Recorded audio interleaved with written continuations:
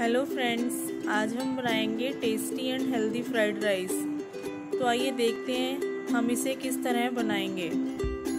सबसे पहले हम पैन में टू स्पून ऑयल ऐड करेंगे और इसे अच्छे से गर्म होने देंगे। तो लीजिए हमारा ऑयल अब गर्म हो गया।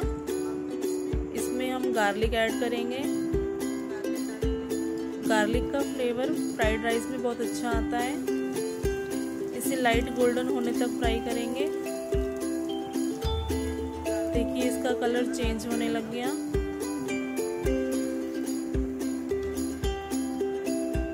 अब इसमें चॉप्ड ऑनियन ऐड करेंगे और इसे भी फ्राई करेंगे।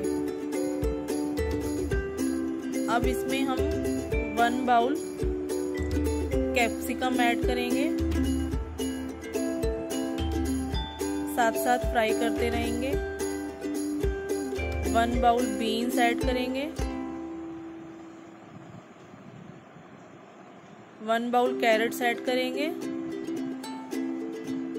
और फ्राई करते रहेंगे। वन बाउल मशरूम यहाँ आप अपनी चॉइस की वेजिटेबल भी यूज़ कर सकते हैं। इसे एक से दो मिनट तक हाई फ्लेम तक हम फ्राई करते रहेंगे। देखिए वेजिटेबल्स का कलर बहुत अच्छा आ रहा है। अब इसमें हम टेस्ट के अकॉर्डिंग नमक ऐड करेंगे और इसे फ्राई करते रहेंगे। देखिए वेजिटेबल्स फ्राई हो गई हैं। अब इसमें बॉइल्ड राइस ऐड करेंगे और इसे अच्छे से हम मिक्स करेंगे ताकि सभी वेजिटेबल्स राइस में मिक्स हो जाएँ।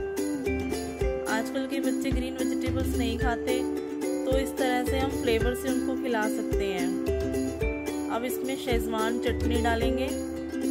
ये स्पाइसी होती है, इसे आप टेस्ट के अकॉर्डिंग डाल सकते हैं। टमाटो सॉस डालेंगे। और इसे मिक्स करेंगे। अब इसमें थोड़े कलर के लिए वन स्पून सोया सॉस डालेंगे। और इसे हाई फ्लेम पे फ्राई करेंगे। राइस को अच्छे से फ्राई करेंगे। अब इसमें ब्लैक पेपर डालेंगे। और एक मिनट के लिए हम राइस को फ्राई करेंगे। तो लीजिए हमारे फ्राइड राइस रेडी हैं। आप इन्हें गर्मा गर्म सर्व कीजिए। चैनल को लाइक कीजिए शेयर कीजिए और कमेंट कीजिए।